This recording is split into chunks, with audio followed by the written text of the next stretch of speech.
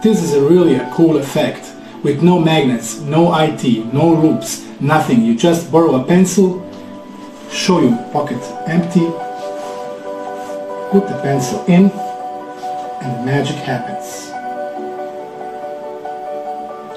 You can show him, it's empty, you can feel it, nothing.